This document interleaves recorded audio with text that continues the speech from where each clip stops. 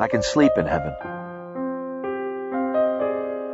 People write to me in heaven and tell me I'm remembered, that I'm their hero.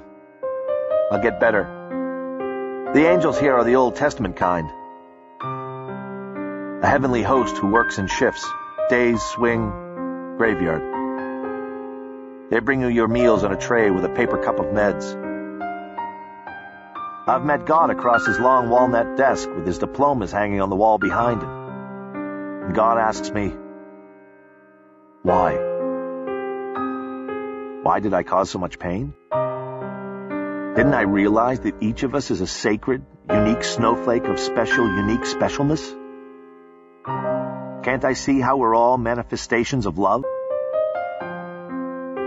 I look at God behind his desk, taking notes on a pad.